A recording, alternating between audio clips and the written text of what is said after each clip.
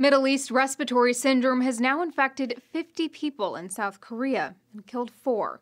The virus, for which there is no known vaccine or treatment, has triggered a fierce crackdown.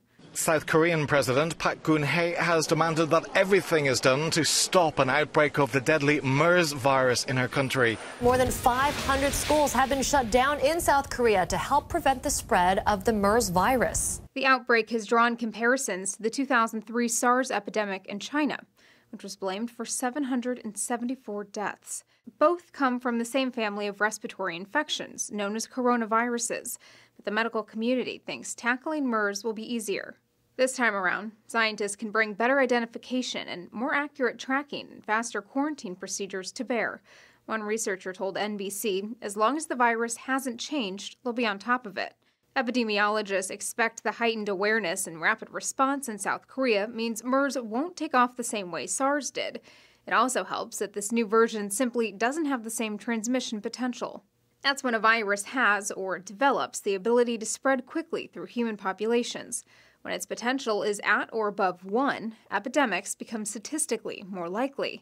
One analysis showed that absent containment procedures, SARS has a potential of about 3, meaning one case could spread it to roughly three other people. Studies have shown MERS typically spreads to one and a half people at most, usually fewer than one. That's even accounting for so called super spreaders, or those anomalous individuals who carry extremely high viral loads and can spread a virus to dozens of other people. Health agencies trace the origin of South Korea's outbreak to one such person. The World Health Organization says, as of now, there is no evidence to suggest sustained human to human transmission in communities and no evidence of airborne transmission.